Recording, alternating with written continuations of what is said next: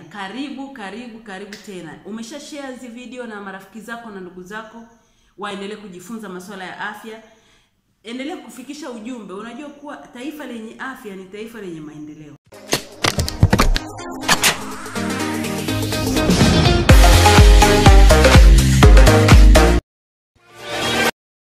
Na sisi tuna kila kitu, yani Tanzania bado tuna maeneo ambayo hayajaharibika, vyakula bado ni vya asili kabisa, na bado tunaweza kuhifadhi na kuhakikisha kwamba vyakula vyetu ni vizuri kwa ajili ya vizazi vijavyo.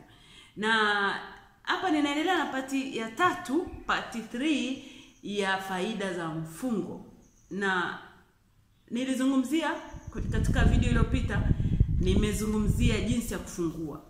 Lakini pia baada ya kufungua, labda wengine wamefungua saa kumi au saa kumi na moja alafu anataka ale chakula cha usiku ndo akalale.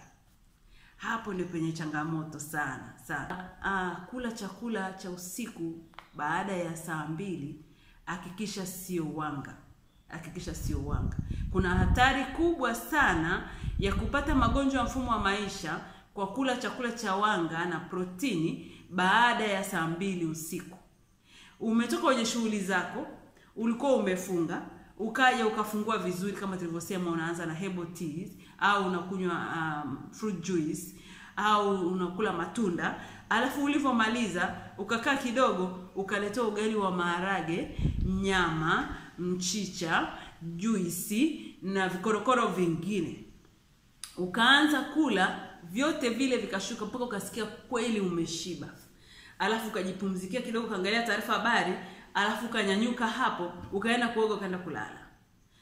Kwa kweli, ndugu yangu, ule mfungo wako utakuwa ulikuwa wa hasara, utakuwa ulikuwa wa hasara sana, na ilikuwa tu umejitesa, umeshinda na njaa, kwa sababu chakula chote cha asubuhi na mchana ndio hicho uweje kukila usiku.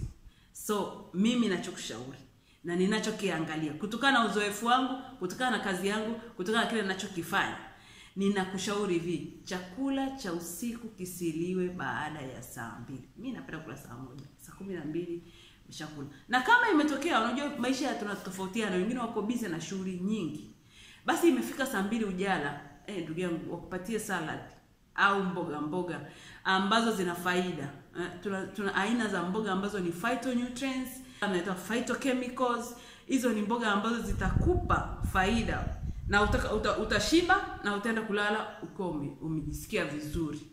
Ukila wanga, wanga ni sukari. Ukila protein aswa nyama, aswa red meat, inachelewa kudigest sana.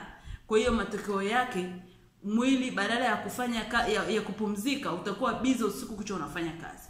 Nakumbuka kwamba mwili una detox wakati umelala, lakini ukiwa busy kudigest, detoxification haitafanyika na wewe ulifunga ile udetox. Sasa ndugu yangu hakikisha kula yako ni mwisho ni saa mbili, na baada ya saa mbili mpaka saa tatu hapo unaweza ukala matunda. Usile chakula usiku wa manane, hiyo ni kosa.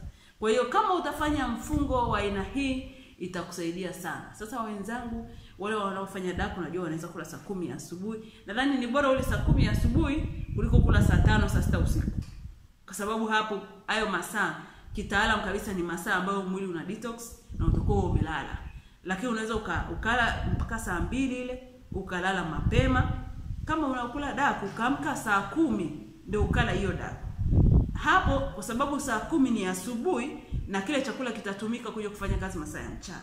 Kwa hiyo mwili utakuwa una, una, una, una circulation ya mwili itakuwa inafanya vizuri, lakini kama utakula saa nne afu ni wali wa maharage, sijui pilau sijui magimbi, viazi na nyama, na unakula mpaka unashiba, kwa kweli hiyo mfungo utakuwa hauna faida na unajitengenezea magonjwa magonjwa mengi. Yaani unajua tatizo la mfumo wa maisha, ukianza ugonjwa mmoja unakuja mwingine, na usipobadilika unakuja mwingine na mwingine, ndio matokeo yake miaka 60 ushakuwa babu kabisa au bibi kabisa, hata ufai kuangalia. Jamani, tuchelewesheni uzee, tuendelee kulijenga taifa na tuendelee kutunza familia zetu na pia tuweze kuachia knowledge wale kizazi kinachofuata. Ninapata nina, watu wanaofuata kanuni za afya. Ukikutana na mtu wa miaka, nilikuwa naangalia American Got Talent, mzee ana miaka 84 bwana, amesimama anaimba, ana nguvu. Kwa kweli nilitamani kusema huyu baba, ningeweza kumuuliza kwani wewe ulikuwa unakulaga nini? Mpaka leo unaweza kusimama hapa hautetemeki sauti ina nguvu unaweza kuimba vizuri. Kwani sisi tunashindwa wapi? Tunakwama wapi jamani? Alafu epuka kula mavyakula ya kemikali. Yanatu yanatu yanatusababishia matatizo. Yaani da jamani huwe na siku njema mbarikiwe sana. Kama kuna swali kama kuna lolote kwenye komenti huko ndo tutajibizana tutaulizana na tutaelekezana. Na kama kuna jambo unalijua ambalo umeona sijalizungumzia share na sisi kwenye comment. Tutaendelea kujifunza na kujifunza na kujifunza. Kila aina ya huduma za afya kinga ni bora kuliko tiba kwa hiyo ukiweza kujikinga ni vizuri kuliko kusubiri mpaka umwe. Natoka Cornell Tanzania Kimbiji Kigamboni Dar es Salaam. Tuna branch ya Arusha tuna kliniki iko Arusha Mafao House gorofa ya nne. Na pale tuna wataalamu uh, wa naturopath watakushauri watakuelekeza na utaweza kujifunza na utaweza kupata huduma za afya na utapata vitu mbalimbali vya kitaalam vya, vya kwenye kliniki vinavyopatikana kwenye kliniki na hapo pia unaweza ukapata msaada zaidi. Asante sana Subscribe, fuatilia chaneli yetu.